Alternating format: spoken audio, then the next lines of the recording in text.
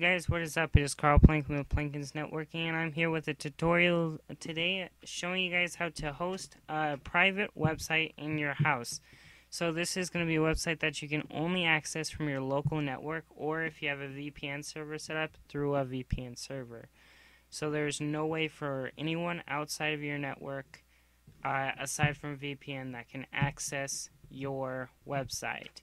This is handy for some people that just want to host stuff for uh, you know, certain things for family members on a website that only they can access, you know, like pictures, videos, something like that. So, first thing we're going to do is uh, when you are going to need a server for this, now you can either have an actual Windows Server 2008 version or, you know, any kind of server, honestly. Or you can just have a simple Windows 8 computer like this one. I have uh, Internet Information Services installed on here from a prank I pulled on a friend.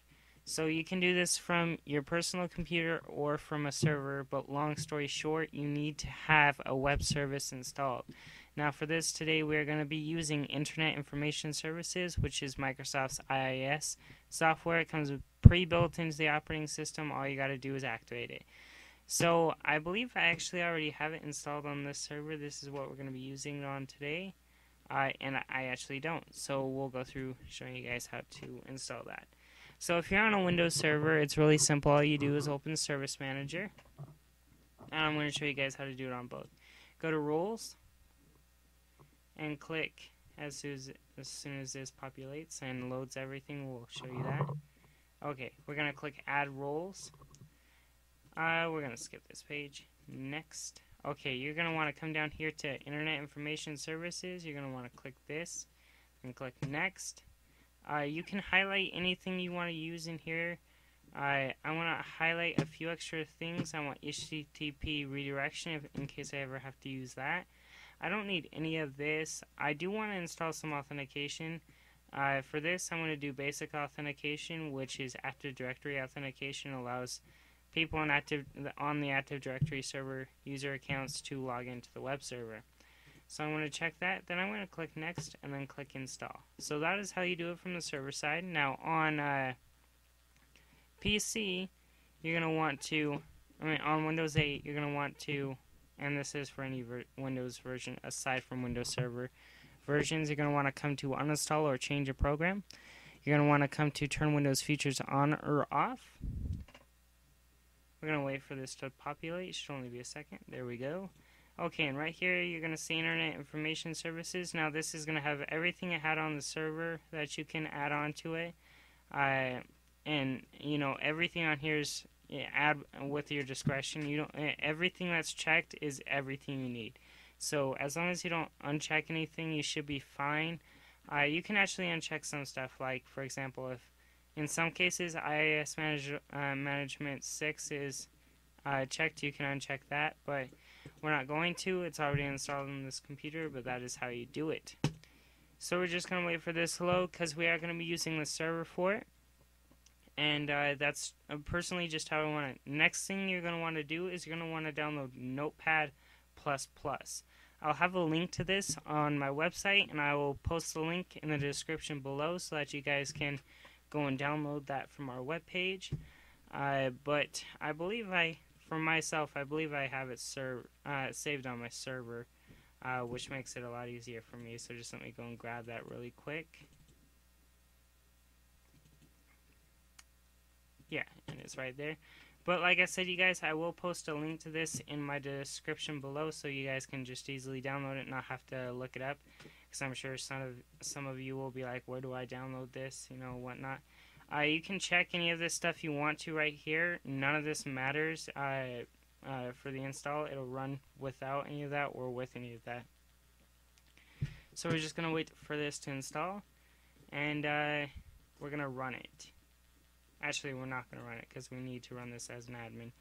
So next thing we're going to want to do is go to Administrative Tools. We're going to pin this to our taskbar. And then we're going to start it. Now we're going to come here. We're also going to pin this to our taskbar. And we are going to come here to this and run as administrator. We're going to click yes. Uh, no, cancel, minimize. Okay, so we're going to maximize this right now. Now, I, I know what my IP address for this computer is already, but we're going to need that, so I'll show you guys how to find that. First thing we're going to do is click Edit Bindings, and you're going to see here, it's going to ask you which IP address you want to assign it to. If you have IPv6, it might be this. If you have IPv4, it'll be this.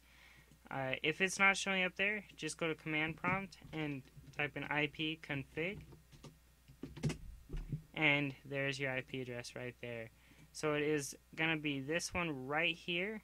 None of these other oh, uh, numbers below matter. These don't matter. So just ignore these and only focus on the IPv4 address, which is right there.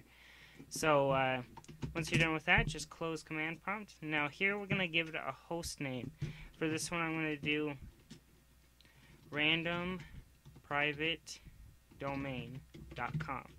You can also do .local or whoops or dot you can actually do do do dot pretty much anything will work here. Dot tech or dot prv anything you want here will usually work. I've done dot onion. I mean i've done a lot of just random ones just to you know just mess around with people. Uh, so we're just going to do random for this one randomdomain.com i okay. And just so you know you can actually add more than one host name here. So we can choose another one for this, and we can do uh, www random private domain.com slash you have to type www dot uh, to get to it or you don't you know either way you can add another one we're just gonna add another one just for the heck of it just to show you guys you can do more than one uh, we can add srv01.com since this is server 01 in my network.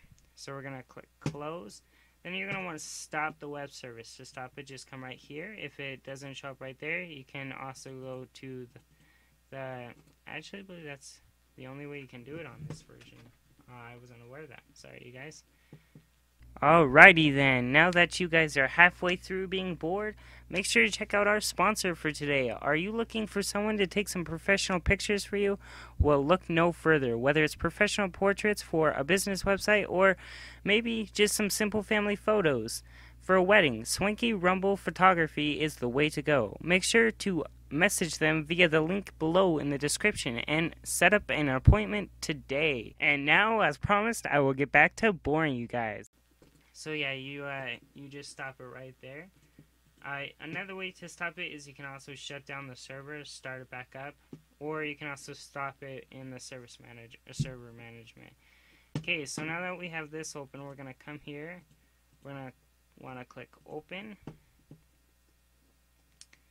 Now we're gonna go to C slash Windows slash System32 slash Oh, whoops. Sorry, you guys. My keyboard's a little bit broken right now. Slash drivers. Slash etc. Now, it's not going to show up on mine normally just because the way I image my computers, uh, for some reason, it, it hides the etc folder. Uh, on your computer, it won't show up as hidden, so if you just navigate there instead of typing everything, it, it, it shouldn't be hidden. If it is, all you got to do is right click on your uh, folder, click properties. Uh, actually, it's not under that, my bad. Uh, you just want to go to press your Alt button, go to Tools, Folder Options, View, Show Hidden Files. So it's literally that simple. I don't need that though, so I'm just going to close it. Okay, so now that we're here, this is what's called a host file. It is a very useful tool in Windows. I use this a lot for stuff that uh, my router won't block or things that I just want to block or things that I want to host on my local network. I actually use VPN to because my uh, main server is actually at my parents' house, so I use VPN to get into that server, and I ha- I'm able to access all of my files from there. I mean, all my websites from there, from here. I so we're gonna do the domain name first. We're gonna want to type in the IP address of the server. I on the server you can actually type in one dot uh, one two seven dot zero dot zero dot one. It'll automatically uh, know that it's one nine two dot one six eight dot fifty.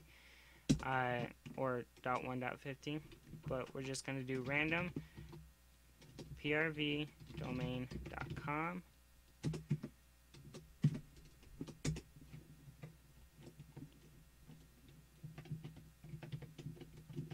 We'll just type in all of these www.randomprvdomain.com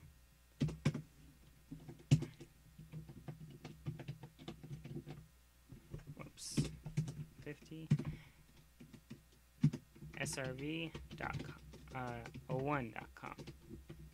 Okay, so now that we have this, we're going to click Control S to save. If it doesn't save by doing that, just come here and click Save, uh, which is right there. I obviously already saved it, so it's not going to be highlighted or let me do it. So then we're going to want to come here and we're going to want to start this.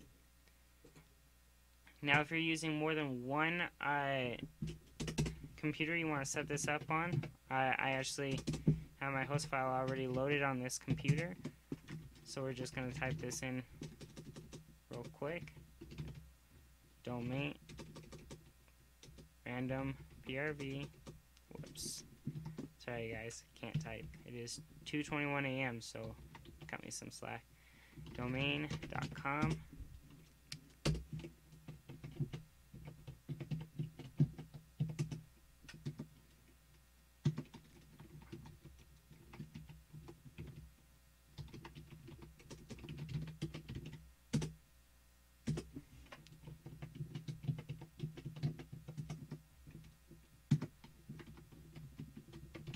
Okay, so we're going to save that. Uh, which apparently it, it's not going to let me. I'm just going to do this really quick, and we'll reopen this. Yes. See if that's a problem, and save. Okay, and it did save apparently that time.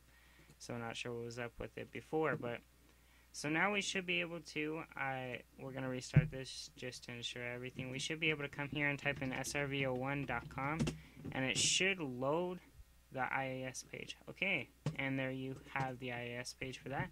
We'll do random don't prv domain.com and as you see it loads the same thing random oh wait www.random domain.com.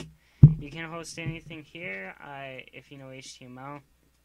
Uh, even if you don't know HTML, you can just. Uh, there's a lot of places that'll let you download your website and then you can just host it on your uh, network yourself.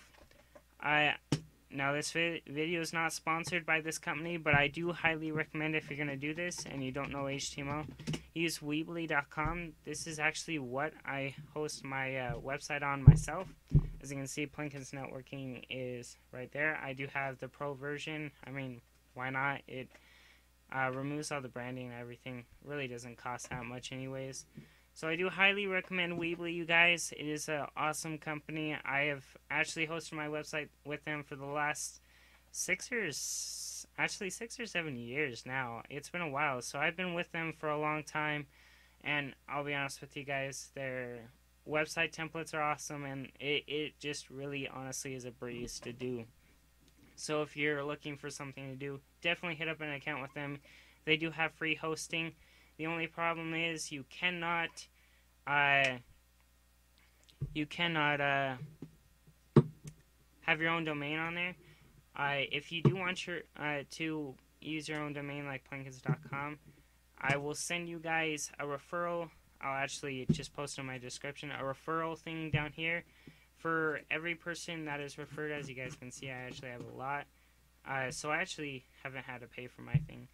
I'll have the referral code in my description though. This will get you a free month of uh, Pro, which will make it so that you can actually, uh, it'll make it so that you can add your domain, and then after that month's over, your dom- domain's going to be on there permanently. So no matter what, uh, you'll still be able to use that Pro future. You just won't have any of the other pro futures. So yeah, guys, uh, make sure to give them a lot, uh, uh, check out, and uh, I'll have the description and the link below. I mean, the link in the description below. Sorry, you guys. I that's all for today's video, guys. Though, thank you so much for the support. Sorry for such a long break. I, I've just had a lot going on with school and everything. So, yeah, here's the link, you guys, and uh, we'll check. see you guys in the next video. Peace out.